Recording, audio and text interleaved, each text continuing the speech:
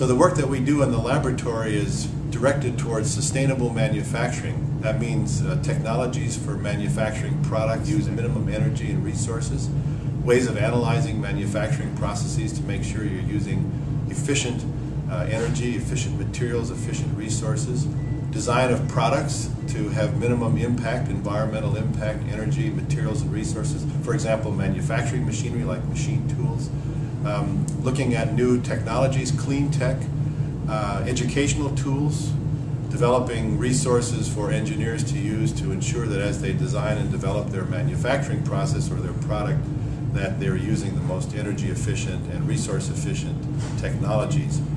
As we all know, uh, there are some tremendous challenges towards uh, sustainable development, sustainable uh, lifestyles in the U.S. and abroad, and a big part of that relates to the work that's going on in manufacturing communities to support business, design, and other engineering structures. So that's a lot of what we do in our laboratory. If you have any questions, you can see our website, which is lmas.berkeley.edu, or talk to any one of our uh, students, or talk to me. I'm very happy to communicate and find out what your ideas are. We have lots of opportunities for undergraduate projects and research, either during the year or during the summer, and of course we have lots of graduate students doing some very clever things.